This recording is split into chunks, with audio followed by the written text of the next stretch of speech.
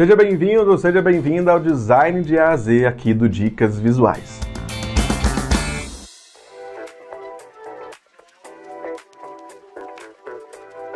Eu gravei aqui uma série de vídeos que vão funcionar como uma espécie de dicionário visual e que vão ajudar, é claro, principalmente quem está começando agora na área do design gráfico ou então Talvez você que já está há muito tempo aí na sua área de trabalho, já conhece, né, já é um design iniciante, mas precisa confirmar alguns termos, precisa conhecer coisas novas. Talvez você não, ainda não estudou design, né, você estudou programas. Então aqui a série Design de A a Z vai te ajudar a conhecer o um mundo novo. E muito prazer, se você não me conhece, eu sou o Diego Rangel, também conhecido como o arroba Dicas Visuais aí nas redes sociais. E eu já te convido para curtir o vídeo, se inscrever no canal e também seguir o nosso trabalho aqui nas redes sociais. E agora neste vídeo nós vamos ver palavras, termos, conceitos, técnicas sobre a letra J. Vamos lá! Os termos da letra J então serão JPEG ou JPG, Join, JavaScript e JSON. Pode ser que você esteja olhando aqui, mas esses dois últimos não têm a ver com design. Não, tem sim, que é Web Design. Já já vamos falar sobre ele aqui. JPG, vamos começar pelo formato de arquivo. Né? Eu já falei anteriormente lá na letra B de bitmap, os formatos de arquivo, né? Então, que existem os mais comuns, como JPG, PNG e GIF também, na letra G. Mas agora na letra J eu quero falar aqui sobre o JPG. O JPEG ou JPEG, né? Os dois significam a mesma coisa.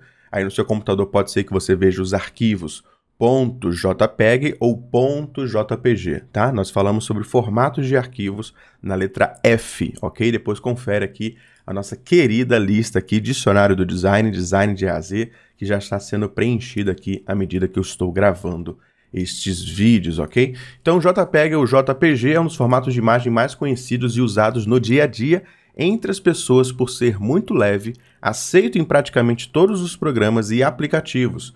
Ele não tem tanta qualidade na compressão como o PNG, mas para um formato rápido e internet é o ideal a ser usado. Vale notar que o JPG, por, é, por exemplo, ele não tem fundo transparente, tá? Muitas pessoas querem exportar em JPG com fundo transparente, mas não é possível porque o JPG não, não suporta isso dentro do arquivo dele. Para isso você precisa exportar no formato PNG, ok? Então eu tenho aqui o JPG e, por exemplo, no Canva ele já vai te perguntar aqui qual é a qualidade que você quer. Você pode pegar aqui uma quantidade, uma qualidade pequena.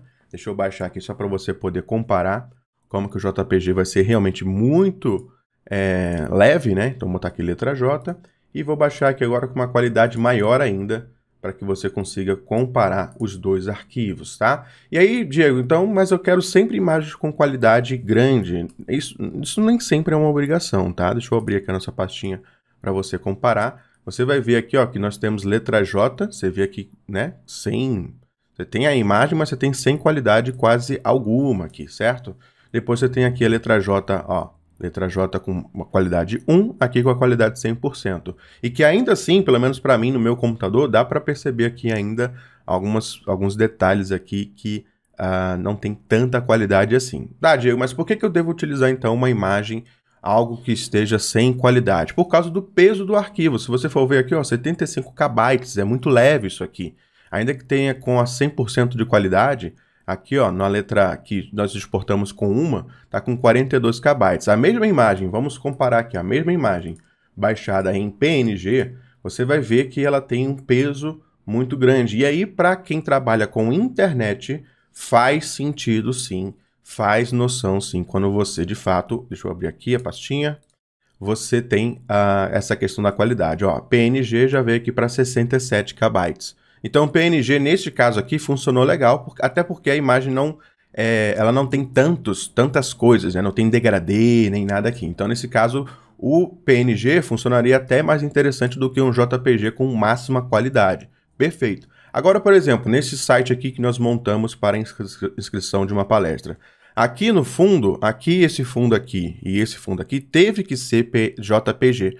Por quê? Porque se eu trouxesse PNG, ele ia aumentar o tamanho de carregamento da página. Ou seja, quanto mais pesado o arquivo, mais é, acaba que o tempo de carregamento da página, né, né, a gente acaba sendo afetado aqui. É claro que existem milhares métodos de compressão, mas sinceramente é o tipo de coisa que são detalhes. Esses laterais aqui eu não me importo muito, pelo menos no meu método de web design, eu não, não, não me interesso muito com isso. Aqui no topo, por exemplo, eu coloquei PNG porque é a primeira imagem, né, precisa de mais qualidade. Agora, as imagens aqui de fundo e essa aqui do final, sinceramente, pouco me importa uh, ter aqui uma qualidade supra-sumo que vai aumentar um, dois segundos de carregamento da página. Para quem trabalha com web design, sabe o quanto isso é importante. Então, é mais essa questão de que em alguns momentos você sim vai ter que precisar utilizar o JPG, é, ao invés do PNG. Para isso, basta você comparar o tamanho dos arquivos.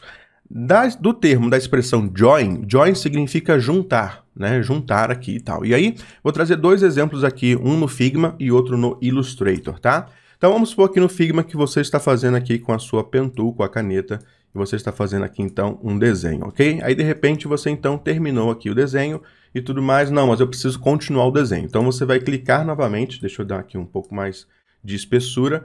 Você vai clicar novamente e você vai querer continuar o desenho. Só que não necessariamente você precisa continuar, deu ponto aqui. Você quer continuar agora daqui para baixo aqui e tal, e depois agora finalizar aqui mais ou menos, ok?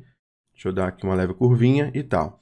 Tá, beleza, mas no final das contas você é, vai perceber que precisa, por algum motivo, juntar esses dois pontos aqui. Bom, quando você faz esse movimento aqui, deixa eu dar mais um, pega um ponto aqui e coloca ele por cima, você vê que ele até cola, ó, ele dá um Tá? Ele cola aqui. Isso é um movimento de join. Ele está fazendo a junção, ok? E agora esses dois pontos se tornaram um só, tanto que você consegue mover esses dois pontos como se fossem aqui um só. Então isso é um join, é um juntar. No Illustrator, além disso aqui existir, que eu não vou explicar novamente, existe ainda a opção de join, né? Então eu tenho um pedaço aqui outro pedaço aqui, e aí você pode ir lá nas opções uh, de objeto, uh, object, path e join, né? Seleciona os dois aqui, object, path, join, e ele vai juntar então, ou o comando Ctrl J ou Command J, e ele então vai juntar automaticamente aqui para você essas, essas formas aqui, tá? Poderia ser mais formas. Deixa eu pegar aqui do lado de cá, ó, vou botar aqui, opa, selecionar todo mundo, Ctrl J, Ctrl J. Ele juntou né, os caminhos que estavam aqui. Então isso é o que a gente chama de join dentro do, do design gráfico, né? em programas vetoriais que permitem isso. JavaScript e JSON, tá? JavaScript também existe aqui o jQuery, que a gente utiliza bastante. jQuery, que utiliza bastante aqui uh, no web design, tá? Aqui acaba que é, tal como a gente falou anteriormente do da letra H, no HTML, a gente tem o JavaScript, né? Então, aquela tríade HTML, CSS e é, JS, né? No caso, JavaScript, é uma linguagem. Aqui sim é uma linguagem de programação que, por exemplo, eu utilizei nesta página aqui.